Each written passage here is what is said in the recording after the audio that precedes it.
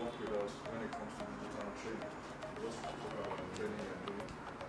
And from the numbers we've given, I think it's even more than what we have trained this year. Because the projection is almost 60,000. We want to 33,000 is because our budget has not come.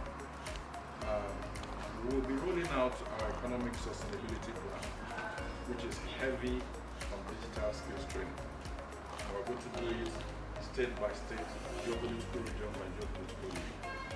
it's fully developed, before it's rolled out, we want you to give us a go-to person when it comes to youth development.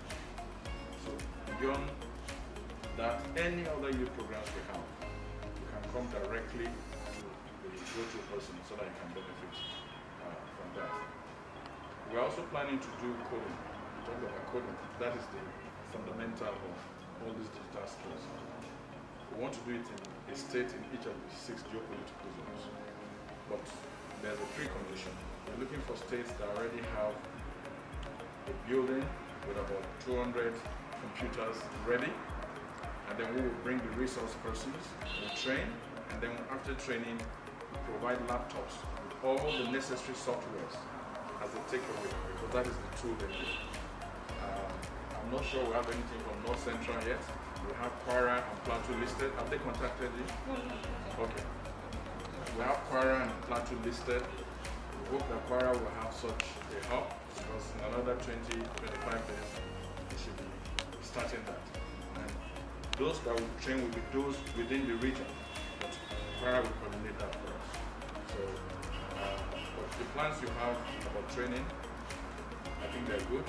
We'll let you know our training plans because we are positioned to train 1 million in the next half years. It's already in our plan, we'll also discuss at the retreat. Um, you spoke about uh, the youth fund. We're working to bring out the final details and then open the portal. We hope that by October 1st we can announce that the youth can go online and apply for the fund. It's uh, between 250,000 to 50 million. Once you have an idea, an existing business, um, we plan to make sure that every state has a NYIF coordinator. Somebody who is a youth, somebody who is trustworthy, somebody who can help some of our youth in your state to be able to enjoy that. We might be coming to you to give us somebody that is quite reliable.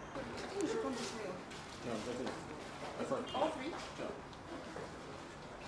you come is. I thought. You would show up today. It will have been a big miss.